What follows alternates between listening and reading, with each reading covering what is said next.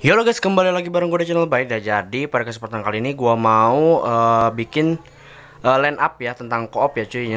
Jadi di sini gue langsung saja lah ya untuk ngebahas dari koop. Nah, oke okay, oke. Okay. Di sini uh, gue mau kasih lihat dulu gear-gear atau equipment ke kalian yang menurut menurut gue bagus ya. Jadi di sini ada tiga core ya yang yang harus kalian pakai uh, tiga partner core yang harus kalian pakai di koop sekarang Nah, jadi yang ke satu itu Kasumi yang pasti karena kasih Kasumi itu damage-nya paling gede. nah, jadi si Kasumi di sini dia itu uh, gunanya untuk nge apa ya? kayak kayak nge-carry tentang uh, soal damage lah ya. Nah, jadi dia itu eh uh, ya ngedamage gitulah. Jadi kayak sambil ngedamage sambil ngeteng ya. Jadi di sini gua langsung saja untuk liatin uh, equipmentnya. Jadi di sini Dragon Hall ya kalian pakai karena di sini ada crit rate ya dan attack juga yang pasti. Terus di sini kenapa gua pakai dazzling kimono nggak pakai yang uh, apa namanya? distant memories. Kenapa? Karena di sini ada uh, ketika dia HP-nya di bawah 50%, dia itu bakal meningkatkan attack sebanyak 12%. Itu lumayan bagus ya, teman-teman. Karena si Kasumi ini dia itu di tengah ya, jadi sering dipukul sama si Vivian ya, yang mana gitu. Nah, terus di sini kalian wajib pakai wine glass ya. Kenapa? Karena ya biar nambah-nambah uh, survive aja gitu biar nggak nggak cepet mati. Oke, di sini untuk asuminya gitu. Kalian bisa pakai armornya yang ini ya teman-teman. Nah jadi armornya itu bisa kalian pakai yang apa tuh? Yang uniform justice ya, karena di sini itu ada tambahan attack juga ya, sama aja kayak Dazzling Kimono. Tapi dia itu bedanya ya cuman SSR aja gitu, banyak HP-nya ya. nah terus di sini untuk equipment kalian bisa pakai dragon uh, apa namanya butterfly hunter atau enggak pakai bloodsucker juga bisa ya tapi yang gue saranin mending pakai dragon hall aja karena crit rate-nya lebih stabil gitu ya. Oke. Oh ya sebelumnya gue di sini uh, tentang apa namanya gue terinspirasi dari equipmentnya itu dari bang Niko ya terus sama dari soal line up apa urutan ya gue terinspirasi dari bang Teddy ya teman-teman. Nah, jadi kalau kalian pengen lihat uh, sumber referensinya kalian bisa cek aja di deskripsi ya teman-teman. Nanti gue kasih. Nah, jadi di sini kita langsung saja lah ya untuk ke si Nikola untuk equipmentnya. Nah, jadi di sini uh, Nikola gue itu masih terlalu cupu ya. nah, jadi di sini untuk si Nikola yang pasti Staff of Hope ya, biar ngedamage dikit. Terus di sini untuk uh, uh, sepatunya mending gue sarankan kalian pakai Victory Cornerstone ataupun yang lain juga bisa. Nah, terus di sini untuk uh, aksesorisnya jadi aksesorisnya di sini si Nikola itu menurut gua ya kalian bisa pakai wine glass kalau nggak punya dream prism atau enggak kalau kalian punya dream prism pakai aja dream prism ya. Karena itu ada tambahan damage juga lumayan ketika dia sacrifice ya. Sacrifice HP dia bakal nambahin damage atau attack ya. Itu lumayan bagus. Nah jadi kalau kalian nggak punya dream prism kalian bisa pakai wine glass aja. Nah untuk si Nikola segitu sih. Terus untuk si Miyuki ya. Jadi kita langsung saja untuk Miyuki. Nah jadi si Miyuki di sini gua pakein Amano Murakomo ya. Jadi di sini gua nggak begitu punya uh, equipment yang bagus untuk si Miyuki jadi ya yang yang ada aja gitu. Terus di sini untuk uh, apa namanya untuk sepatu di sini gua saranin sepatunya kalian uh, bukan yang silent aja lah ya. Jadi kalian uh, pakai yang lain aja gitu. Kalau yang silent itu biasanya si kop si atau bosnya itu suka nggak nggak attack ya. Jadi agak rugi gitu buat si Kasumi kalian ya cuy. Jadi si Kasumi kalian itu nggak bisa uh, nambah rage ya. Kan nambah rage itu harus di hit sama harus ngehit ya. Jadi kayak gitu. Terus untuk uh, armornya kalian bisa pakai yang mana aja karena si Miyuki itu di samping ya nggak kena damage. Nah terus di sini untuk gear aksesorisnya gue saranin kalian pakai si Miyuki itu pakai yang gear aksesoris UR yang baru ya teman-teman. Nah, jadi di sini kalian gak bakal rugi ya untuk upgrade si Ponix kode ini karena dia itu ketika uh, si ownernya punya reduce enemy target ya reduce apa namanya reduce efek efek reduce nah jadi reduce rate ya sorry maksud gua.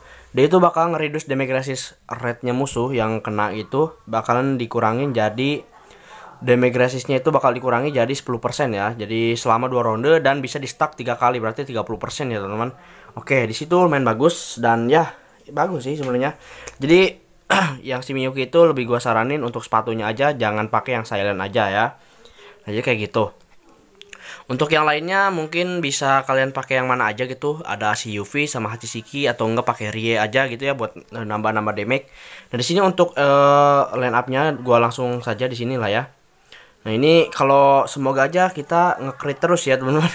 Jadi di sini gua langsung saja untuk challenge ya. Ini level 70 Vivian-nya. Nah di sini untuk line up-nya di sini ya gua pakai kayak gini aja. Kenapa? Karena kenapa nggak 10 aja gitu?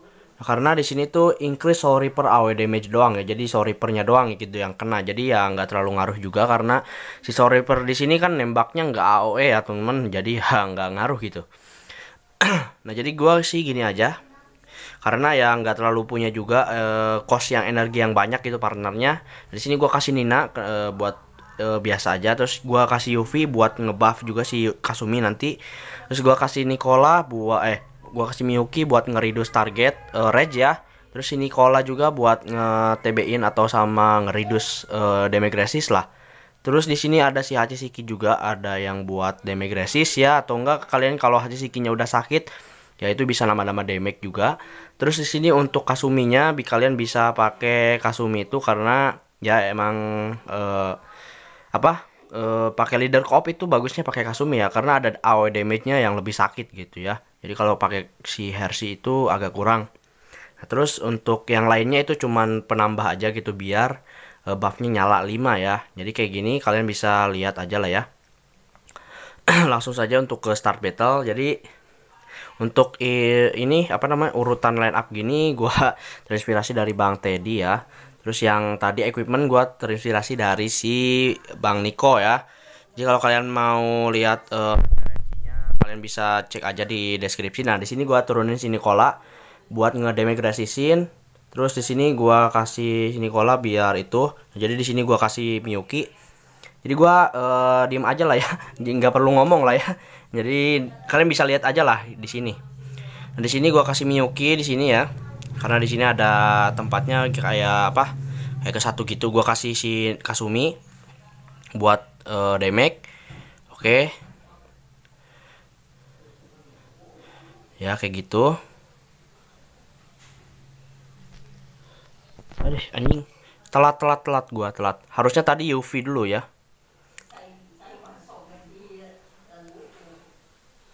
Hmm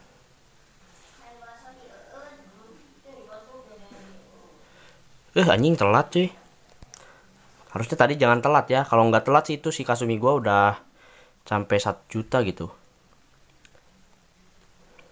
kalau kita telat bisa ulangi ulangi lagi kali ya. Nah, jadi di sini ya untuk si damage-nya 15 juta ya. Kalian bisa uh, kayak gitu mungkin kalau tadi gak telat gua mungkin bisa lebih kali ya untuk damage-nya. Jadi gua ini coba sekali lagi lah ya. Ini pengecualian lah ya. Jadi soalnya kalau kalian nge-coop itu cukup sekali aja terus sisanya invite orang lah ya. Jadi jangan terlalu buang-buang attempt. Nah, jadi di sini gua uh, punya itulah ya biar lama gitu videonya. Jadi ya gitulah. Nah di sini gue mau liatin sambil diem biar enak gitu. Hmm. Hmm, turunin Miyuki harusnya ini kalau HP-nya gede gitu kayak tadi ini bisa lebih sih. 16 juta kali bisa kalau nggak telat tadi. Gua kasih dulu di sini. Nah terus gua kasih UV aturan yang tadi. Aduh lupa gua. Nah kayak gini. Jadi ketika si Kasumi itu damage-nya nambah 900.000 terus gua kasih uh, si Hachishiki jadi sejuta jadi sejuta tuh. Gua kasih Hachishiki aja karena ya dikit lagi gitu lumayan kan. Nah kan mati. Jadi aturan kalau kalian tadi sesuai kayak gua ya jadi kalian itu uh, si apa namanya Nicola dulu terus si Miyuki terus si Kasumi. Lalu kalau si Kasumi mau nge-skill kalian langsung buru-buru cepetin si Yuvi karena di si di si Yuvi itu ada buff ya ada buff tambahan attack. Ya kalau nggak salah ada tambahan attack. Eh AW damage sorry AW damage ke partner kita. Terus si Hachishiki terakhir aja gitu. Di land di apa namanya di land yang ke atas gitu yang paling terakhir gitu ya. Jadi dia itu gunanya untuk damage juga nah jadi ya kayak segitulah ya.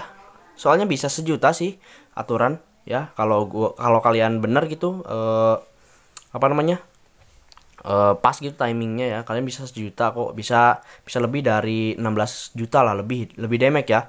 Apalagi kalau equipment kalian lebih bagus ya cuy. Nah jadi di sini gua cuman mau kasih lihat equipment yang ya bisa dibilang bi- gampang didapat buat free to play juga gitu ya. Jadi ya segitu sih untuk video kali ini ya udahlah ya bye bye